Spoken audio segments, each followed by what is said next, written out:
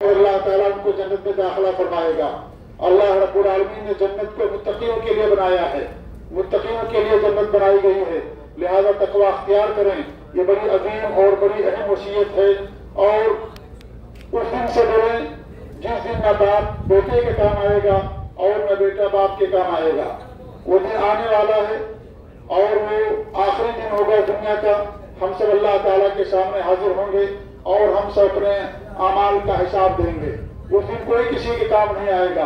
अगर कोई चीज़ काम आएगी तो आपका तकवा काम आएगा, आपका नेक अमल काम आएगा। लिहाजा तकवा अख्तियार करें और अपने आप को अल्लाह की नाराज़गी से, अल्लाह के अजाब उसके अकाब से अपने आप को बचाएँ और अल्लाह की रजा का हकदार बने। लिहाजा तकवा ये बहुत अजीम और बड़ी अहम तरीन वसीयत और नसीहत है जो शेख मोहतरम ने हमको बताई है। शेख ने यह भी फरमाया कि तकवा के बड़े सारे तकाजे हैं।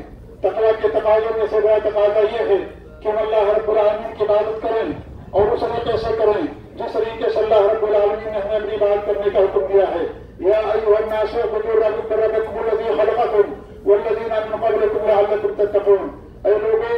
उस रब की इबादत करो, जिस रब ने तुमको पैदा किया और तुमसे पहले सारे लोगों को पैदा किया ताकि तुम्हारे अंदर तकवा पैदा हो। अपने आप को तुम जहन्नम से बचा सको। अल्लाह के अजाब से, उसके अकाब से अपने आप को बचा सको। लिहाजा तकवा अख्तियार करो और अल्लाह रब्बानी की इबादत करो। जिस तरीके से इबादत करने का हक है, जिस तरीके से नबी अकरम अलैहि ने हमें अल्लाह की बात करने का तरीका सिखाया है, ये बात अल्लाह ताला की की जाएगी। नबी के तरीके पर और नबी की सुन्नत के मुताबिक अल्लाह ताला की बात की जाएगी। अल्लाह रब्बुल आलमीन ने तो नबी सल्लल्लाहु को दुनिया में इसीलिए भेजा था ताकि पूरी इंसानियत को अल्लाह ताला के दीन पहुंचाएँ। और अल्लाह ताला की बातों से खुश होता है। कैसे अल्लाह ताला की बात करना है? वो तरीका उम्मत को, सारी इंसानियत को सिखाएँ। लिहाजा अल्लाह ताला की बात कीजिए। उमा खलक तुम जिन्ना वाले इंसान हमने इंसान और जिन्नातों को अपनी बात के लिए पैदा किया है। हमारे दुनिया में आने का मकसद वही यही है। सबसे अजीम मकसद ये है कि हम अल्लाह ताला की इबादत करें। अल्लाह की वहदानियत के इकरार करें। अल्लाह रब्बानी के साथ किसी को शरीक न करें, खालिश उसकी इबादत करें और उसकी इबादत इखलास के साथ करें, नबी के तरीके के मुताबिक करें, क्योंकि जिस कलमे का हम गवाही देते हैं, उस कलमे की गवाही के अंदर चार चीज़ें शामिल होती हैं। एक चीज़ तो यह है कि अल्लाह के रसूल ने जिस तरीके से अल्लाह की बात की है वैसी अल्लाह ताला की बात करेंगे और हमारे नबी ने जो कुछ फरमाया है, उसके ऊपर अमल करेंगे। जिन चीज़ों से नबी ने मना किया है, उन तमाम चीज़ों से हम दूरी अख्तियार करेंगे।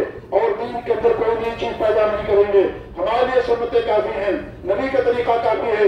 यही मैदान अफात है, जिस मैदान अफात में अल्लाह रब्बुल आलमीन ने दीन की तकमील के ऐलान फरमाया था, और ये कहा था लोग अकमल तो रकम रज़ी इस्लाम दीना। आज के दिन में दीन मुकम्मल कर दिया नेमतें पूरी कर दी, दीन इस्लाम से नाराजी हो गया। अल्लाह ताला की सबसे बड़ी नेमत है।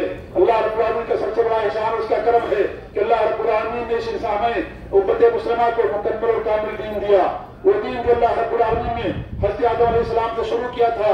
उस दीन की तकमील अपने आखिर में जनाब मोहम्मद रसूलुल्लाह सल्लल्लाहु अलैहि वसल्लम पर फरमाई, लिहाजा लोगों अल्लाह रब्बुल आलमीन का तकवा अख्तियार करो अल्लाह ताला से डरो और अल्लाह रब्बुल आलमीन की इबादत करो और अल्लाह रब्बुल आलमीन की वदानियत के करार करो अल्लाह ताला की वदानियत में नबी अकरम सल्लल्लाहु अलैहि वसल्लम की शहादत और उनकी रिसालत और नबूवत की गवाही भी शामिल है जब तक कोई नबी की शहादत और रिसालत और हमारे नबी सल्लल्लाहु अलैहि वसल्लम की नबूवत के इकरार नहीं करेगा अगर जो अल्लाह ताला को रब मानता हो अल्लाह को एक ही मानता हो वो मोमिन और मुसलमान नहीं हो। ये कलमे शहादत है। ये दीन इस्लाम का पहला रुकन है। कलमे शहाद के इकरार करना। अशद व मोहम्मद अब्दुहु रसूल हम गवाही देते कि अल्लाह ताला ही हमारा माबूद हक है। अल्लाह ताला के अलावा कोई हमारी बात के लायक नहीं है। और मोहम्मद वसल्लम अल्लाह रब्बुल आलमीन के नबी हैं। उसके रसूल हैं। अल्लाह ताला के बंदे हैं। हम उस रात की गवाही देते हैं। लिहाजा अल्लाह ताला की तौहीद में नबी अकरम सल्लल्लाहु अलैहि वसल्लम की शहादत की नबूवत और आपकी रसालत की शहादत भी उसके अंदर दाखिल है। उसके बाद दूसरा जो इस्लाम का रुकन है, वो नमाज़ कायम करना है। दिन और रात अल्लाह रब्बुल ने पाँच वक्त की नमाजें फ़र्ज़ की हैं और तीसरी जो तीसरा जो रुकन है, वो जक़ात देना है और चौथा रुकन रमज़ान के रोज़े रखना है और पांचवा रुकन क्या है, बैतुल्लाह का हज करना है रमन सता सबीरा जिसे अल्लाह रब्बानी इस्तार पे जिस्मानी और माली सदात हो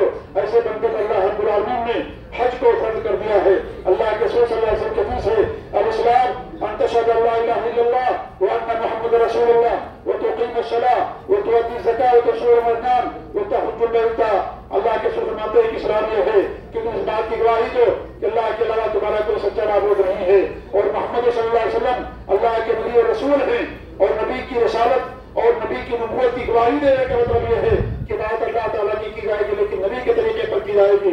अगर कोई नबी के तरीके से करके कोई दूसरा तरीका अपनाएगा अल्लाह ताला उस बात को कबूल नहीं करेगा। उसके बाद उसकी सारी मेहनत और उसकी सारी कोशिश नायगा हो जाएगी, क्योंकि अल्लाह ताला की इबादत की कबूलियत का दारोमदार जहाँ इखलास के साथ है, वही अल्लाह के वसल्लम की सुन्नत और आपके तरीके के मुताबिक होना है। और फिर आपने फरमाया कि नमाज़ कायम करो। ये भी अहम है, और दीन इस्लाम का दूसरा रुकन है कि एक बंदे मोमिन दिन और रात में पाँच वक्त की नमाज़ अदा करे। एक बंदे मोमिन से नमाज़ छोड़ने का तस्वर नहीं किया जा सकता है। नबी के जमाने में मुनाफिकीन भी नमाज़ पढ़ा करते थे लेकिन आलमीन ने हम सब के ऊपर नमाज़ को फ़र्ज़ कर दिया है। नमाज़ फ़र्ज़ है बंदे मोमिन पर। नमाज़ उसी वक्त जब इंसान की जान बाकी न रहे ये इंसान मजनू और पागल हो जाए चीज़ें ना हो।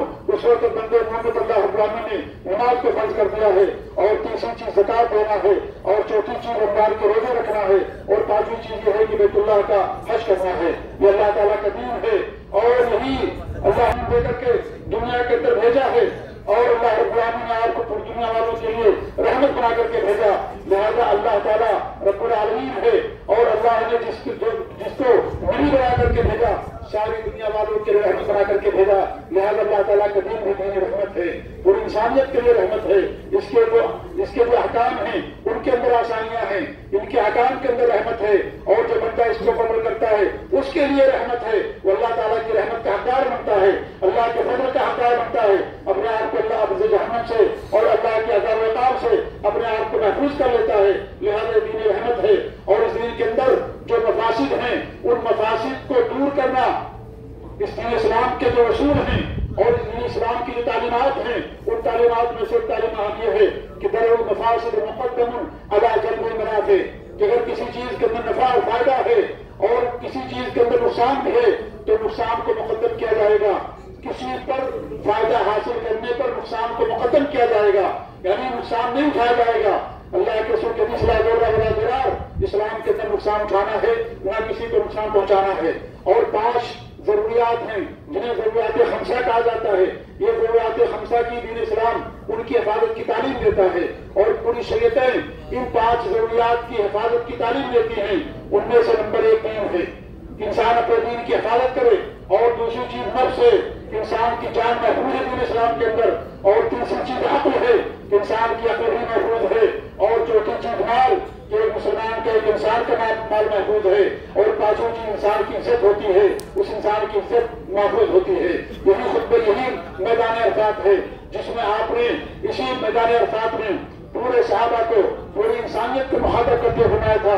इन दिनाकुम व अमवालकुम, व आरादकुम, हराम अलैकुम कहमती यौमिकुम हादा फ़ी बलदिकुम हादा यौमिकुम हादा ऐ मुसलमानों लोगों, मेरी बात को सुन लो।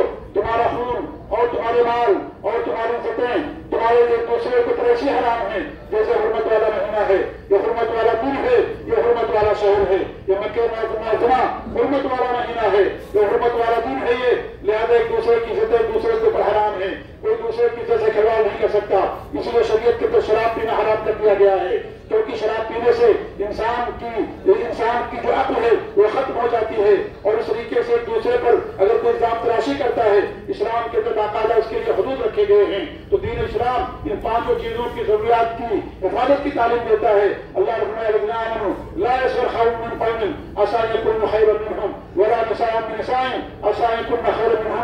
ईमान वालों कोई किसी का मज़ाक ना उड़ाए।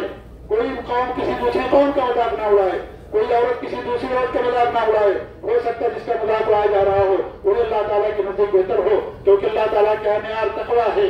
अल्लाह ताला के यहाँ मैार रंग नहीं है, नस्ल नहीं है, कद और कामत नहीं है, रंग नहीं है, खूबसूरती नहीं है। सबसे खूबसूरती चीज़ जो होती है, वो दीन होता है। इंसान की दीनदारी होती है, इंसान का तकवा होता है, इंसान का अमल होता है। लिहाजा अल्लाह ताला का मैार कोई और नहीं है। अल्लाह ताला के हर मैार है। मकाम का, मरतबे का, वो इंसान की दीनदारी और इंसान का तकवा है। नाम है जो हमें तमाम चीज़ों की तालीम देता है। ये मौकफ मेरे भाइयों, ये अरफा, ये मैदान अरफात है। हमारे नबी सल्लल्लाहु अलैहि वसल्लम ने हज किया तो आप तालीम को यहाँ क्याम किया। और यहाँ आपने खुतबा दिया। और उस खुतबे के अंदर आपने लोगों को बहुत सारी बातें बताई। आपने यहाँ पर जोहर की नमाज़ पढ़ी। अजान बिलाल रफील्ला ने ये कामत कही। दो रकात जोहर की नमाज़ पढ़ी आपने, फिर बिलाल रफील्ला ने कामत की तो आपने असर की दो रकात नमाज़ पढ़ाई। उसके बाद आप बेनाता और उठनी पर सवार होकर के, और सूरत के हुनूब होने तक खूब खूब अल्लाह ताला से उन्होंने दुआएँ की, क्योंकि दुआ की कबूलियत कबूल है, बड़ा अजीम दिन है जानक शादा भी कबूल है। अल्लाह ताला मुताज कराम के ज़रिए से फरिश्तों पार करता है और कहता है, फरिश्तों, तुम गवार हो। मैंने इन तमाम लोगों को जो मेरी रजा के लिए खलास के लिए यहाँ पर हाजिर हुए हैं, मैंने उनकी मफरत कर दी है। लिहाजा बड़ा अजीम दिन है जहाँ गुनाहों से आज़ादी का और इस तरीके से गुनाहों की कबूलियत का दिन है। लिहाजा कसरत से आप दुआ करें, यहाँ पर कसरत से दुआ करें। और जो हमारे फलस्तीनी भाई हैं, आप उन्हें याद रखें। उनके लिए भी आप दुआ करें। जिन पर जुम्म हो रहा है जो दाने पानी और पानी पानी के कतरे के मोहताज हैं। उन्हें भी अपनी दुआ में याद करें और दुनिया में जहाँ भी मुसलमान हैं, उन तमाम मुसलमानों के लिए भी आप दुआ करें। उसके बाद आपने आप जब सूरज गुरूब हो गया सूरज गुरूब होने के बाद जब परिवार गए मुजलफा वकार के साथ, सुकून के साथ गए, और उसके बाद वहाँ जाने के बाद अजान दी गई, और मगरब की आप तीन रकात नमाज़ पढ़ाई, उसके बाद उषा की दो रकात नमाज़ पढ़ाई, उसके बाद आप फिर सो गए, और जब फजर का वक्त हुआ बेदार में अजान दी गई कामत करी अजान की गई, और दो रकात आपने फजर की सुन्नत पढ़ी, और उसके बाद फजर की नमाज़ आपने, तमाम सहाबा को जो भी आपके साथ थे, उन सबको आपने नमाज़ पढ़ाई। उसके बाद आप जबरे अख्ता गए, और जबरे अख्ता की आपने रबी की, सात करके उनको मारी। उसके बाद आपने कुर्बानी की, कुर्बानी के बाद सर के बाल उड़ाए गुसल किया, सिले हुए कपड़े पहने, खाने का तशरीफ़ ले गए, और बैतुल्ला का तलाब किया, और तलाब करने के बाद वापस आठ महीना में तशरीफ़ ले आए। उसके बाद जो यहाँ पे तशरीफ़ थे दिलजा की ग्यारह, बारह और तेरह तारीख को आपने सवाल के बाद तीनों जमरात की रमी की। पहले जमरा को सात तस्करिया मारी दूसरे को उसके बाद फिर दुआ किया, फिर दूसरे को सात तकरिया मारी, फिर आपने दुआ किया, फिर तीसरे जमरे अखबा को सात तकरी मारी, उसके बाद आपने दुआ नहीं किया। फिर बारह तारीख को भी आपने ही काम किया, और फिर आपने घुमाया कि कोई बारह तारीख को जाना चाहे, जा सकता है, लेकिन आप तेरह तारीख तक रहे, और तेरह तारीख को तीनों जमरात पूरी करने के बाद फिर आप मक्के मुकरमा तशरीफ़ ले गए।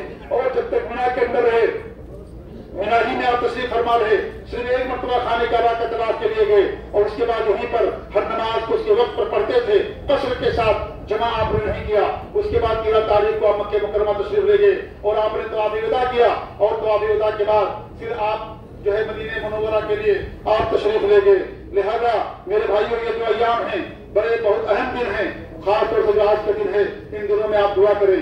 दुआ की कबूलियत का दिन है अपने लिए, रिश्तेदारों के लिए, जिनका भी आपके ऊपर हक है, उन सब के लिए आप दुआ करें। इन रहमत अल्लाह ताला की रहमत जो होती है, जो एहसान करने वाले हैं, उनके लिए करीब होती है। और अगर आप दुआ करते हैं किसी मुसलमान भाई के लिए तो फरिश्ते आमीन कहते हैं, और कहते तुमने मिस रही तुम्हें भी वो सारी चीज़ें मिल जाए, जो तुमने किसी दूसरे मुसलमान भाई के लिए की है। लिहाजा बुखाला से काम ना लें।